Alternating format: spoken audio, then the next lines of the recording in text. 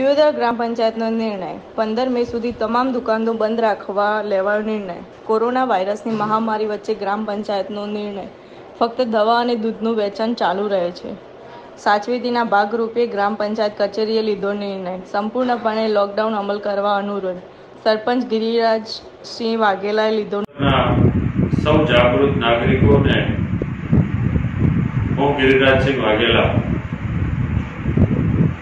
વોટ્સએપના માધ્યમથી અનુરોધ, વિનંતી કરું છું, અપીલ કરું છું કે આજે જે આપણે સાતથી કરીને અગિયાર વાગ્યા સુધીની પરમિશન દિયોદરમાં ખુલ્લી દુકાનો માટે કરીને આપી હતી, જેમાં શાકભાજી, કરિયાણું, દૂધ, મેડિકલ જેવી સુવિધાઓ આવતી હતી. પણ સોશિયલ ડિસ્ટન્સિંગ ને જરા બી ધ્યાનમાં નથી લેવામાં આવ્યું. બહુ બધી કમ્પ્લેનો આજે મારા સુધી પહોંચી છે. આ એક રોગ છે, આ એક મહામારી છે. એમાં આપણે સૌએ કટિબદ્ધ થઈને આને, આ લડાઈ સામે લડવું પડશે. તો આજે મેં અને મારી ટીમે એવું નક્કી કર્યું છે કે પંદર પાંચ બે હજાર વીસ સુધી દિયોદરની તમામ દુકાનો, દિયોદરની તમામ દુકાનો પંદર પાંચ બે હજાર વીસ સુધી સંપૂર્ણપણે બંધ રાખવામાં આવશે. ફક્ત દવાની દુકાન અને દૂધની દુકાન.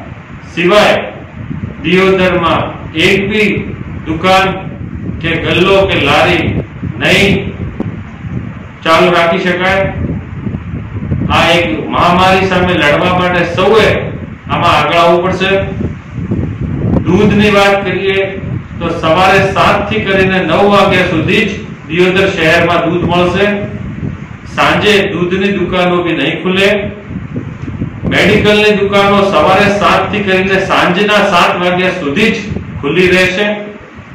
મેડિકલની કોઈ ઇમરજન્સી હોય તો મેડિકલ વાળાનો ફોન કરી અને દવાને વ્યવસ્થા થાય. પણ દુકાન સવારે સાતથી કરીને સાંજના સાત સુધી જ મેડિકલની દુકાન ખુલ્લી રહેશે. ટોટલ લોકડાઉનની પરિસ્થિતિમાં દિયોદર શહેરને રાખવું પડશે. બહારના લોકોની તાદાદ આપણા વિસ્તારમાં અને આપણા ગામમાં વધી રહી છે. ત્યારે આપણને ખ્યાલ નથી કે કેટલા લોકો આ વાયરસની સંક્રમણમાં આવી ગયેલ છે. આપ સૌને હું વિનંતી કરું છું કે આજુબાજુના ગામડાના લોકો આપણા શહેરમાં અત્યારે ના આવે એની આપણે સચેતપૂર્વક કાળજી રાખવી પડશે.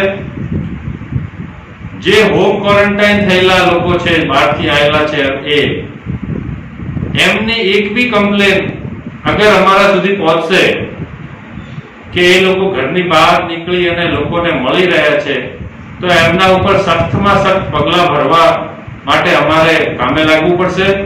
તો આપ એની તકેદારી રાખજો કે જે હોમ ક્વોરન્ટાઇન છે એ ઘરની બહાર બિલકુલ ના નીકળે.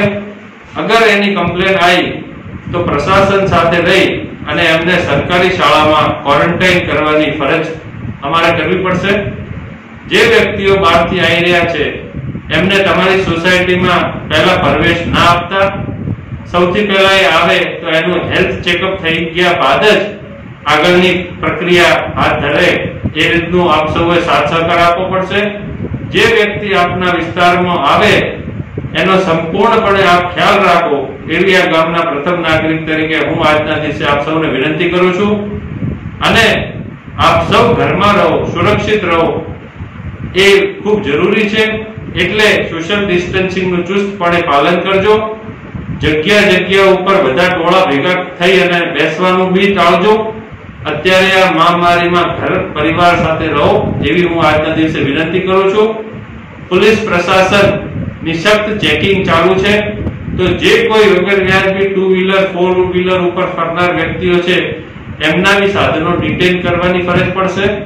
અને જે જનતા સેનાના જે યુવા છોકરાઓ જે આપણા ગામમાં કામે લાગ્યા છે, એમને બી હું આજના દિવસે ખૂબ ખૂબ અભિનંદન અને ધન્યવાદ આપું છું કે ગામની સુખાકારી માટે એ લોકો આગળ આવ્યા છે. એમનો સાથ સહકાર રહેશે તો હર વિસ્તારને આપણે કોર્ડન કરી અને આપણા ગામને સુરક્ષિત રાખી શકીશું. આજના દિવસે હું ફરી વિનંતી કરું છું, કાલથી કોઈ દુકાન દિયોદર શહેરમાં નહીં ખુલે. ફક્ત ને ફક્ત દૂધ અને મેડિકલ સિવાય એક બી દુકાન ખોલશે તો એના ઉપર સખ્તમાં સખ્ત કાર્યવાહી કરવાની